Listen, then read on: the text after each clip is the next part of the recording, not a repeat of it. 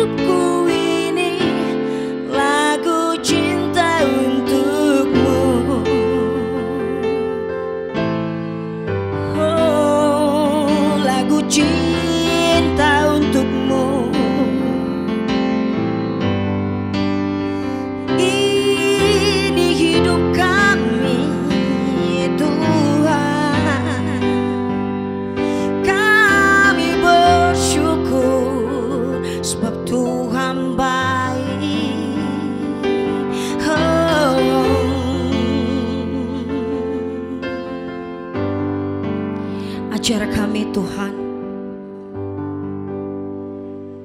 Dalam hari-hari kami Biarlah kami terus menyenangkan hati Tuhan.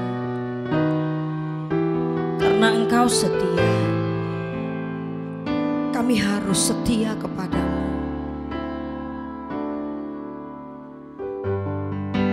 Terima kasih Bapa. Sampai akhir ku menutup mata Ku tetap setia menanti janjimu sampai ku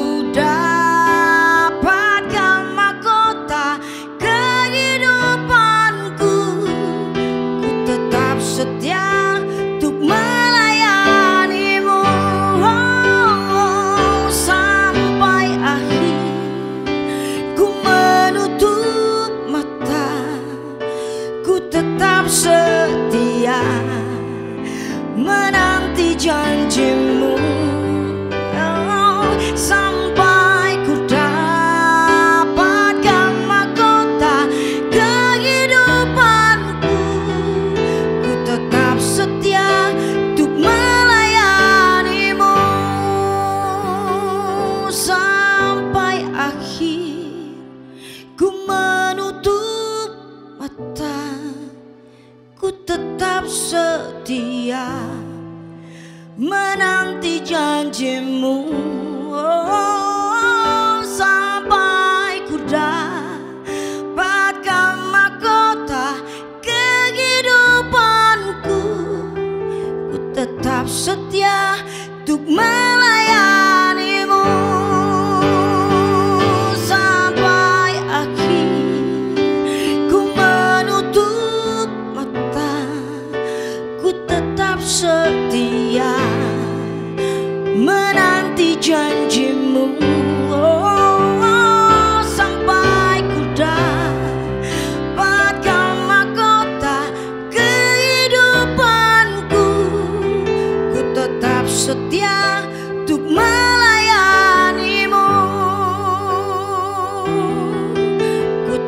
setia tetap setia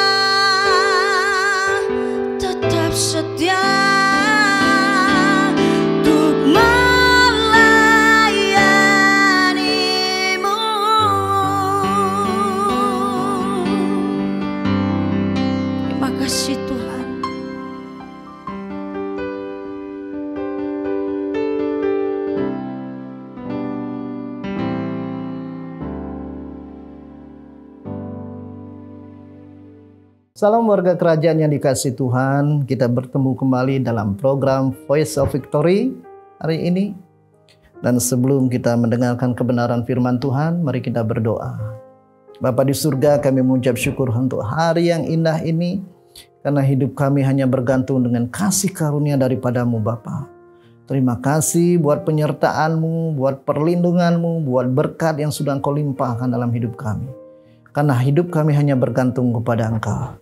Biarlah hidup kami semakin hari semakin menjadi berkat sesuai dengan rencanamu. Di dalam nama Tuhan Yesus kami siap untuk mendengarkan kebenaran firman-Mu. Haleluya. Amin. Amin. Warga kerajaan yang dikasih Tuhan, mari kita belajar bersama-sama firman Tuhan. Saya ambil dari Yesaya 43 ayat 19. Di sini berkata, "Lihat, aku hendak membuat sesuatu yang baru yang sekarang sudah tumbuh. Belumkah engkau mengetahuinya? Ya, aku hendak membuat jalan di padang gurun dan sungai-sungai di padang belantara."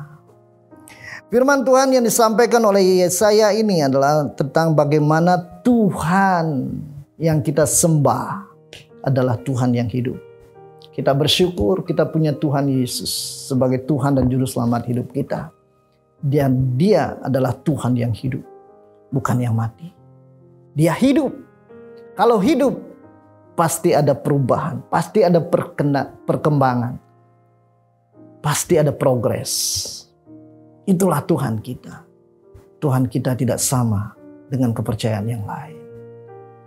Karena Tuhan kita, Tuhan yang perkasa. Dia sanggup untuk melakukan sesuatu yang baru dalam kehidupan kita. Firman ini disampaikan oleh Yesaya. Karena sebelumnya disampaikan bahwa bagaimana Tuhan bisa membelah laut menjadi jalan yang rata. Bagaimana pekerjaan Tuhan yang dulu ketika mengeluarkan bangsa Israel dari padang dari tanah Mesir. Dan Tuhan mengingatkan kepada Yesaya, jangan hal-hal yang dulu itu saja kamu ingat. Nah sekarang Tuhan mau menginovasi yang baru terjadi di dalam setiap kehidupan kita sebagai warga kerajaan Tuhan. Bapak Ibu yang dikasih Tuhan, kita sebagai warga kerajaan daripada Allah yang maha tinggi. Dan Tuhan mau hidup kita penuh dengan inovasi. Penuh dengan progres-progres yang baru dalam kehidupan kita. Karena Tuhan tidak mau hidup yang itu-itu saja. Yang sudah berpuluh-puluh tahun. Terus kita ulangi hal-hal yang sama. Nah, Tuhan mau ada progres, ada pertumbuhan, ada perkembangan yang luar biasa terjadi. Karena Tuhan yang menyertai kita. Warga kerajaan yang dikasih Tuhan progres perkembangan atau pertumbuhan itu tidak terjadi dengan kekuatan atau kuasa kita atau kehebatan kita, tetapi semata-mata karena kuasa Tuhan. Karena ketika kita percaya kepada Tuhan Yesus sebagai Tuhan dan Juru Selamat dalam hidup kita, Dia menaruh rohnya dalam batin kita. Dia menaruh rohnya dalam tubuh kita. Dan biarlah roh itu roh yang sudah membangkitkan Kristus dari mati, itulah sekarang yang bertumbuh dalam diri kita. Nah, ketika Roh Kudus hadir, hidup dalam diri kita, itulah yang akan membuat terobosan-terobosan yang baru. Dan dikatakan di saya ini, tidakkah kamu mengetahuinya?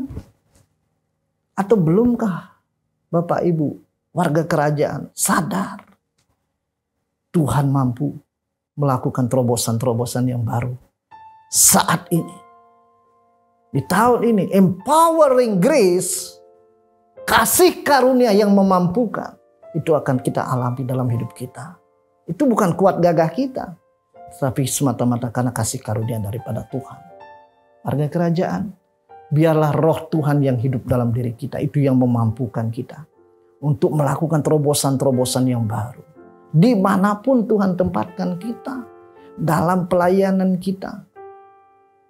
Jangan begini warga kerajaan yang dikuasai Tuhan. Ketika kita melayani seseorang, jangan kita memakai patokan. Kita melayani si A sama dengan kita melayani si B. Karena di sini Tuhan yang kita sembah adalah Tuhan yang hidup. Cara Tuhan pasti berbeda. Ketika Tuhan menyembuhkan orang buta, Tuhan bisa menumpangi tangan, Tuhan bisa meludahi tanah terus mengolesi di matanya. Dan Tuhan pakai beberapa cara, bermacam cara. Inovasi daripada Tuhan. Demikian juga ketika kita melayani, biar kuasa Tuhan, cara Tuhan yang terjadi. Dan ketika kami melayani jiwa-jiwa orang-orang yang memerlukan pertolongan daripada Tuhan Yesus. Saya minta Tuhan, apa yang harus saya lakukan? Saya tidak ada apa-apanya. Tetapi biar kuasa Tuhan sendiri yang bekerja. Ketika kuasa Tuhan sendiri yang bekerja, jamahan Tuhan pasti terjadi. Dan orang itu akan mengalami manifestasi, mengalami perubahan terjadi dalam kehidupannya. Warga kerajaan, ketika kita dipenuhi dengan kuasa roh kudus, karena kita percaya kepada Tuhan Yesus sebagai Tuhan dan Juru Selamat dalam hidup kita, biarlah roh Tuhan itu sendiri yang hidup dalam diri kita. Itulah yang memampukan kita untuk melakukan perkara-perkara yang ajaib. Dalam pelayanan, dalam pekerjaan kita. Mungkin sesuatu yang tidak bisa kita kerjakan. Tetapi itu tugas yang harus kita emban sebagai tanggung jawab kita sebagai karyawan. Ketika tidak ada jalan, jangan kita pakai cara orang-orang dunia atau cara-cara yang lain tapi kita pakai cara Tuhan. Saya percaya Tuhan sanggup untuk memberikan jalan jalan keluar yang terbaik. Karena Tuhan kita Tuhan yang hidup. Tuhan yang hidup. Dan dia mau hidup kita hari demi hari mengalami progres, mengalami pertumbuhan. Di dalam usaha kita, jangan kita pakai cara-cara yang lama. Sekarang, cara yang baru, Tuhan mau kerjakan dalam kehidupan kita. Tuhan mau ada progres, ada pertumbuhan, sesuatu yang baru yang Tuhan ingin mau kerjakan dalam kehidupan kita. Ketika kita mengandalkan Tuhan dalam hidup kita, warga kerajaan yang dikasih Tuhan ingat, hidup kita bukan lagi kita yang hidup seperti Paulus katakan, namun aku hidup tetapi bukan lagi aku yang hidup, tetapi Kristus yang hidup dalam aku. Jadi saya percaya kita semua yang sudah mengakui Yesus Kristus sebagai Tuhan dan Juru Selamat dalam hidup kita. Itu bukan kita yang hidup, tapi Kristus yang hidup dalam diri kita. Dan biarlah kuasa Tuhan itu sendiri yang memampukan kita untuk melakukan pekerjaan-pekerjaan yang dahsyat, sesuatu yang baru yang akan kita kerjakan. Karena Tuhan kita, Tuhan yang hidup. Warga kerajaan yang dikasihi Tuhan, bersyukurlah. Karena kita semua sudah dipilih oleh Tuhan menjadi warga kerajaannya, menjadi anak-anak Allah. Biarlah hidup kita benar-benar menjadi berkat. Di mana pun kita ditempatkan. Ada sesuatu yang baru, ada inovasi yang baru Tuhan mau kerjakan melalui kehidupan kita. Mari kita berdoa. Terima kasih Bapa untuk firman-Mu hari ini. Biarlah melalui kebenaran firman-Mu ini kami yakin, kami sadar bahwa kami menyembah Allah yang hidup, yaitu Yesus Kristus Tuhan kami. Engkau selalu memberikan yang terbaik.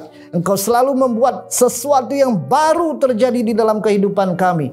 Baik di dalam pelayanan kami, di dalam pekerjaan kami, di dalam usaha kami, di dalam keluarga kami, di dalam apa pun setiap aktivitas kami. Engkau turut bekerja untuk mendatangkan kebaikan bagi kami yang mengasihi Engkau. Terima kasih Bapak.